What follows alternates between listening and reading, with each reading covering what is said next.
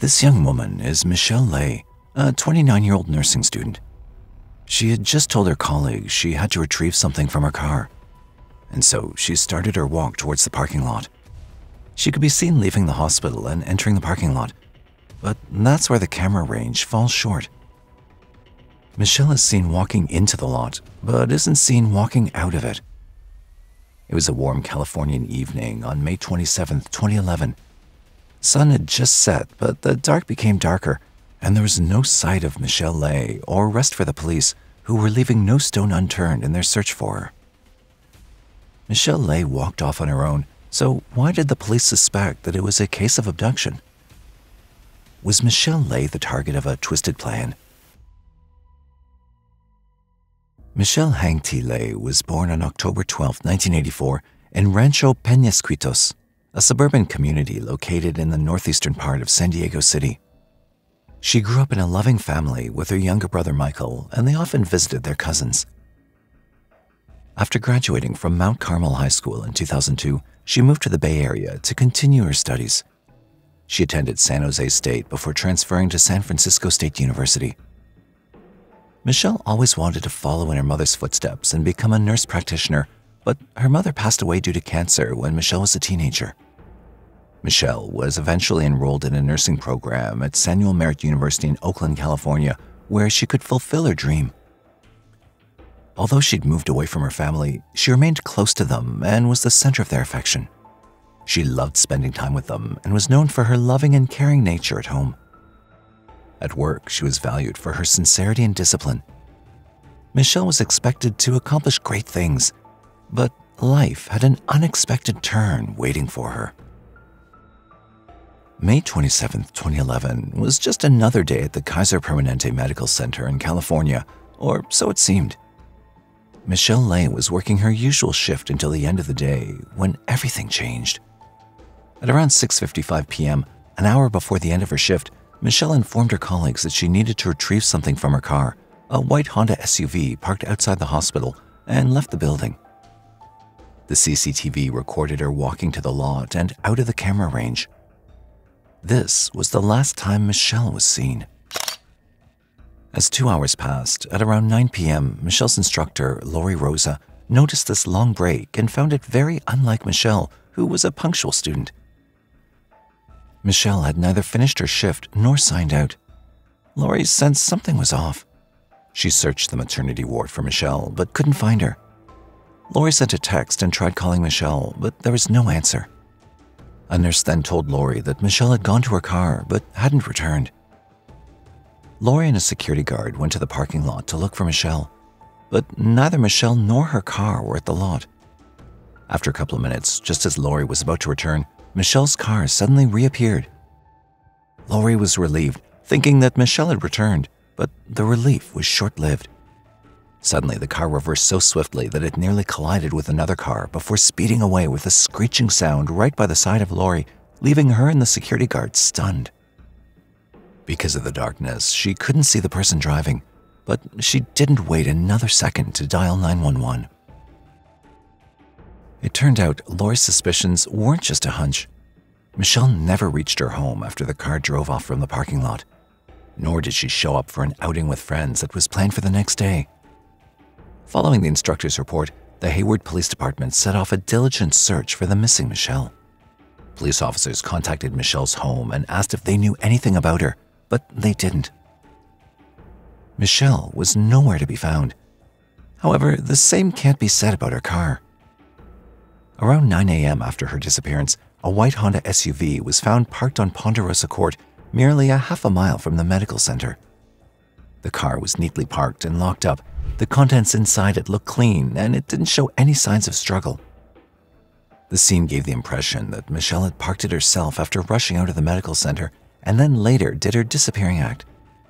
But investigators failed to see a reason as to why Michelle would flee. Despite the apparent impression, the investigators were of the view that the discovery of the car was far from innocent. It, in fact, only deepened the mystery. In the initial hours, the police crafted a preliminary theory about Michelle's disappearance. Did Michelle leave by her own choice? Was her trip to retrieve something from her car a setup? Could she have been lured by a call? The investigators' primary conjecture was that someone familiar to Michelle might be connected to her disappearance. And a clue awaited just around the corner. As the news circulated among Michelle's extended family, friends, and colleagues, a sea of worried messages and calls buzzed Michelle's phone. All of them were unanswered. Something strange was about to unfold. One of these concerned messages got a reply from Michelle. It should have been great news, but the message was, well, eerie. I'm not missing. My phone has been crazy and it deleted everything. The oddity did not end there, as several people received replies from Michelle's phone. Each message was emotionally detached and quite unlike the Michelle they knew. I had a flat tire. I had a bad night last night. All these messages killed my battery. Just taking it easy. I'm sick. As the police compared these messages, several of them were the same. They had been copied and pasted. And just as suddenly as the messages had started to pour in, they stopped at once. The location was from inside the hospital. The influx of strange messages had left Michelle's loved ones more petrified, and the police were baffled. But these messages had solidified their theory that someone familiar to Michelle was involved in her disappearance. The search for Michelle continued. The family traveled eight hours from their home to be in the city where Michelle had gone missing and to support the ongoing search. The family put up billboards and offered a reward for information about her whereabouts. But it seemed like Michelle had fallen off the face of the earth. Over the next four months, at least eight volunteer search efforts were undertaken, some organized by the Klaas Kids Foundation, a nonprofit organization based in Sausalito, California, devoted to assisting the recovery of missing people. A variety of missing persons organizations joined in the searches, but there's a parallel search that the investigators were involved in the search for the suspect and the missing pieces of the fateful day. Police suspected from the beginning that Michelle's disappearance had something to do with a familiar face, someone whom she closely knew. Guided by that perspective, they began an investigation in an attempt at piecing together the potential events that transpired. There were loose ends that the investigators were turning their attention to. Beginning with the car, even though it seemed in a pristine state, there was no ruling out the possibility that it could contain what was invisible to the naked eye the car was taken in for further investigation. The second investigative thread police followed were the CCTV cameras positioned in and around the parking lot. This examination aimed to uncover any overlooked clues or elusive details that could shed light on the mysterious circumstances. The final thread the investigators pursued was Michelle's relations and connections. They interviewed people about her, starting with her family. They wanted to know if she had any problems with anyone, that's when a particular name stood out someone she'd recently fallen out with, her friend Giselle Esteban. Police went to have a quick chat with her, only to know she was looking for her too. We heard about Michelle Lee. Michelle? Oh God, what about her? She went missing last night from her work. Okay. And talking to um, her friends and such, uh, we understand that you guys had a Uh, tumultuous relationship. a tumultuous relationship. She was my best friend who slept with my then fiance. Giselle Duwag Esteban was born on February 4, 1984, in the Union City of California. Later, she moved to San Diego and settled in the same neighborhood as Michelle when she was a kid. Michelle and Giselle went to the same high school and became close friends. When Giselle moved to college, Michelle followed her there to attend the same college and even lived in the same neighborhood. Their connected lives made them the closest of friends, navigating the journey of college and career goals together. Michelle had joined Giselle at the university in 2003.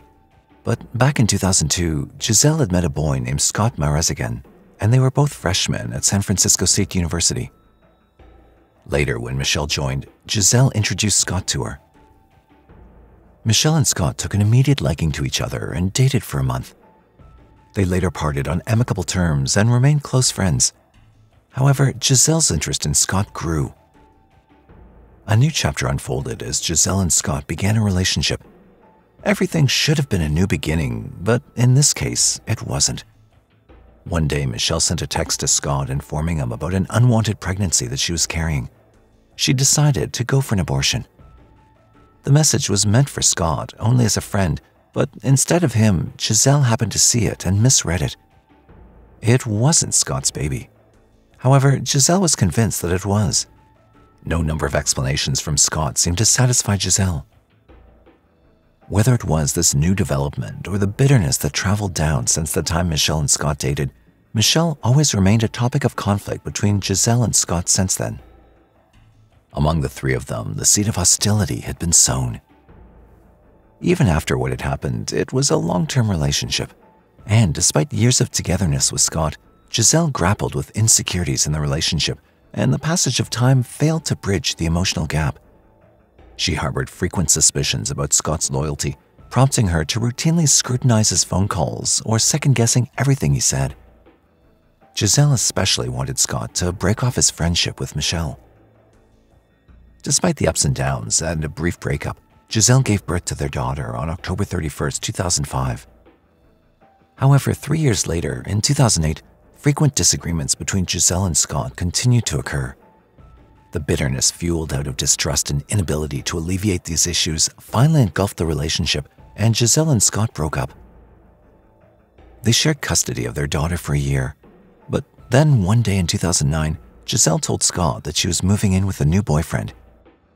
Giselle took the baby back to San Diego, which spurred a legal custody battle between Scott and Giselle. Eventually, Scott won 80% of the custody and brought his daughter back to Northern California.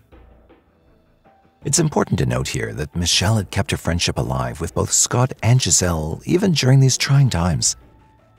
But after the breakup, Giselle gave Michelle an ultimatum to choose between Scott and her. As for Scott and Giselle, life remained complex as they kept their connections on and off, sliding back into intermittent physical relationships from time to time, even after separation. It was only the beginning of more bitterness that was about to follow. In the meantime, a new development came out of the forensic examination of the car. Even though the police had not been successful in finding Michelle, they realized it may not be an alive Michelle that was at the other end of the search. This conclusion was drawn on the basis that the car contained the blood remains of Michelle Le. Our primary concern was, is, and will always be to find Michelle and bring her home with us. At this point, she is still missing, and we will fight to bring her home every day until we have her with our family again. Although the family found it hard to believe, the missing person case was now a homicide case. The second finding at the spot where her car was parked was more blood, a pool spanning 10 and a half inches on the ground. Then, inside the car, Michelle's nursing school ID was found, kept there so as to be shown to the instructor when required. But was that so? The ID turned out to be strange indeed because eventually the instructor couldn't recognize it. And that's when the police decided to gather more information about it. And there it was, the truth. The ID didn't belong to Michelle.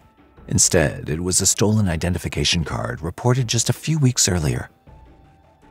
Also, the investigators traced the cell phone right from the moment Michelle had walked out of the hospital into the parking lot. The cell phone had taken a long circle around the city of Hayward, got back into the hospital, only to move out again. The last location of the cell phone was into the remote areas of Alameda County, a wooded, hilly area. However, the trail of oddity did not end there. An emergency ward nurse had come forward to narrate a strange call from Michelle the evening she went missing. Only about half an hour after Michelle had left the hospital, a call was made to the emergency ward, received by the mentioned nurse. The call was supposedly from Michelle Le, and she wished that her instructor would know the reason for her absence.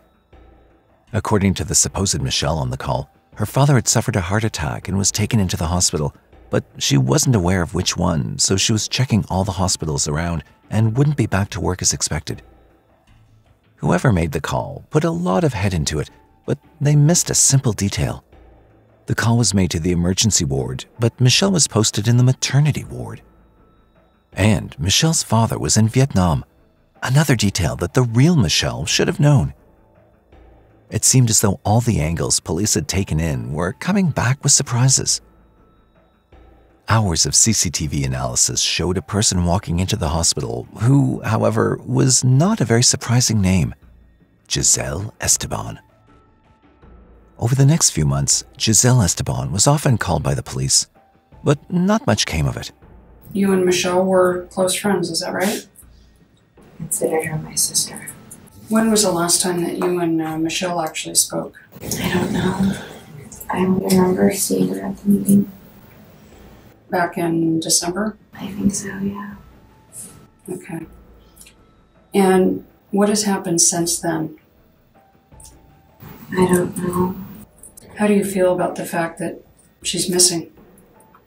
I wish you guys would find her already. And since you and Michelle used to be so close, what do you think is going on with her? I don't know. I don't know who she is anymore.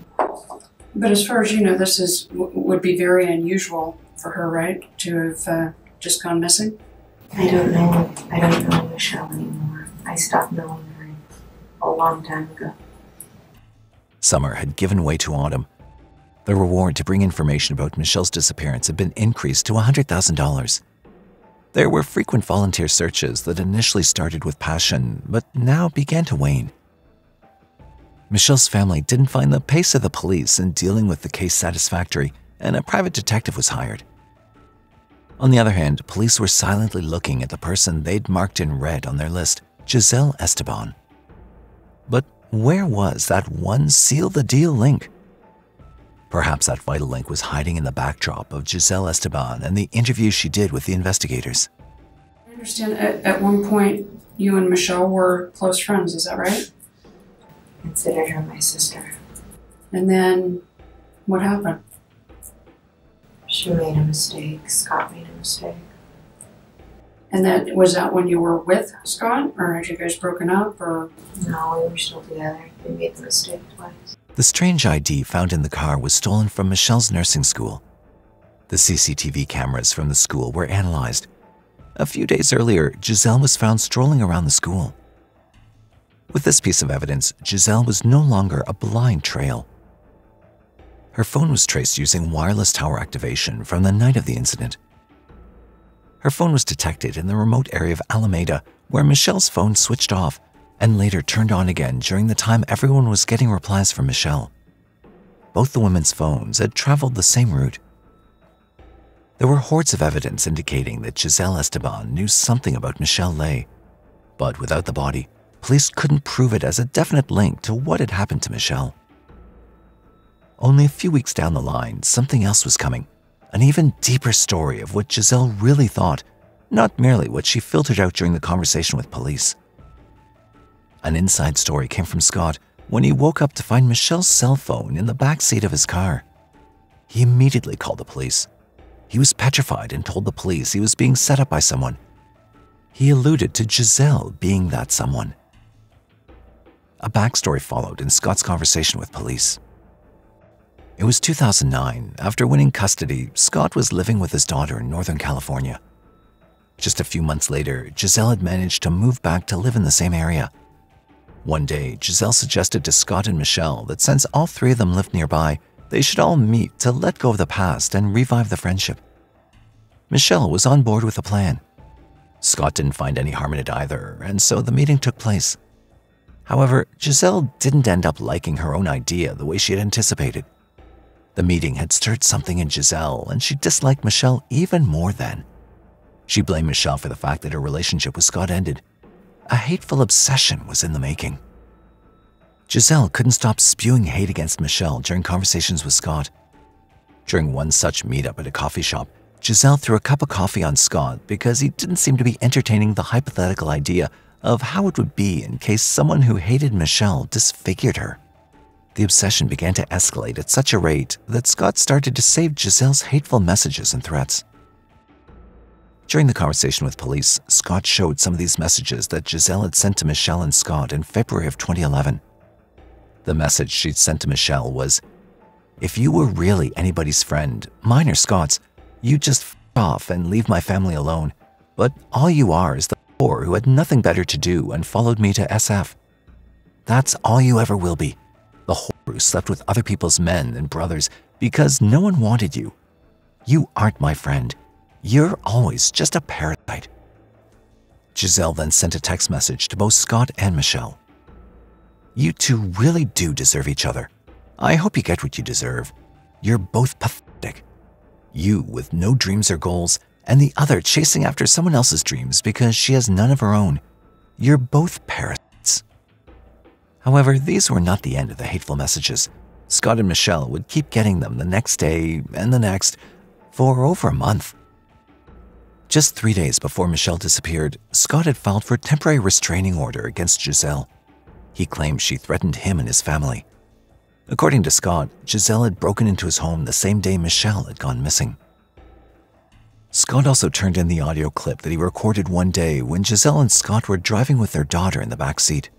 I asked you, can we just be honest about Michelle? Because she's the one issue that I really, really am having a hard time dealing with. That's not what you said at all. Yes! Okay, we well then fine. Starting from now, we are going to be honest about Michelle. Do you understand me? Whether you sleep with her, whether you share food with her, whether you talk to her, you will be honest with me. Look at me! You will be honest with me regarding her. Otherwise, I will take your life and hers. And you can take that to the grave with you. Why? Why? Because you lied about her so many times, it's hard to believe that you didn't sleep with her and lock her up. You deserve to die for your lies, as does she, and you will. If you do it again, this is your last and final warning. Why? Do you understand me? It's your last and final warning. The intent of the murder was there rage and revenge. But as for that definite link that the police had been chasing for so long, it was hidden in a new development. Giselle's DNA was found in Michelle's car. There was something on Giselle's shoes. The investigators took the shoes in, and as it turned out, the shoes were laced with Michelle's blood. With copious amounts of evidence, Giselle Esteban was arrested on September 7, 2011, around four months after Michelle's disappearance. But was Michelle ever found? The eighth search for Michelle ended in the finding of human remains in a remote canyon area on September 17, 2011. The body was so badly decomposed that even the gender couldn't be identified. Eventually, on September 19, 2011, 12 days after Giselle's arrest, the Alameda County Coroner's Office positively identified the discovered remains to be those of Michelle Le. However, because of the state her body was found in, the autopsy couldn't establish how Michelle was killed. oh, I heard they found Michelle's body. Can you comment on that? And I would, I just started shaking. I was, I, was, I told him we haven't found her, but I knew that they did. When I got that call from the reporter, I knew. According to the police and later prosecution, Giselle's premeditated, elaborate plan included stalking Michelle, keeping ahead of her schedule every day, calling Kaiser Permanente Hospital to know if she'd checked in, to arrange her number and the address from several mutual people. She even went to the Apple store during the day of the crime to know how to reset an iPhone. Giselle had begun to track down Michelle and asked around for her address to a number of mutual friends from college. She finally followed her to the Kaiser facility in Hayward, attacked her in the parking lot, threw her body into Michelle's car, and drove her away from Hayward, ultimately out to the Pleasanton Sunol Valley Road area, and within sort of a makeshift grave, buried Michelle's body out there. We'll never know the cause of death of Michelle Le because Giselle contended she was not guilty. She denied having done anything to Michelle and stuck by the story she gave during police interrogations earlier. However, in December 2011, Giselle Esteban was sentenced for 25 years to life in prison. She was found guilty of first degree murder. She was two months pregnant when she planned the murder of her friend, Michelle Le. Giselle's computer revealed she conducted around 300 internet searches for the name Michelle Le. Other searches included how to follow someone without getting caught, how to find someone who doesn't want to be found. Is there a certain chemical that can induce heart attacks without leaving a trace? How to induce a heart attack? Where to buy potassium chloride? In 2012, she gave birth to her second daughter with Scott while being in prison. According to Scott's own admission, Michelle and Scott never dated after that one month during college and never had physical relations during or after their relationship. Michelle was merely a friend to Scott and to Giselle. jealousy is an ordinary emotion with a corrosive potential to surpass all the boundaries of ordinariness. In the case of Giselle, she had plunged into a dark psychological state that led to obsessive thoughts, intense feelings of betrayal, and a distorted sense of reality. In such instances, the toxic blend of jealousy and unchecked emotions can tragically propel someone towards committing unthinkable acts. But even after Giselle harbored and spewed hate, Michelle didn't see what was coming for her, and Scott failed to grasp the severity of Giselle's day to day threats and obsession. On the other hand, the children of Scott and Giselle are left destined to grow up with a mother behind bars. In the intricate and psychotic outbreak of emotions, Giselle's jealousy emerged as a powerful adversary. Toxic relationships are made and maintained all the time with or around us, and Scott exhibited the typical stages of a victim in an abusive dynamic, falling in and out of the relationship. But perhaps there were signs left unread by Scott that could have prompted him to alert the authorities and potentially avert the tragic outcome. Have you ever been in a toxic relationship as tumultuous as the one discussed here? And why do you think Scott and Michelle might have missed these warning signs despite years of togetherness with Giselle? Let us know in the comments section below. And if you found today's video interesting, please consider subscribing to our channel, hit that like button, and share our videos. Also, if you have any crime story that you'd like us to cover, leave us a message in the comment section below.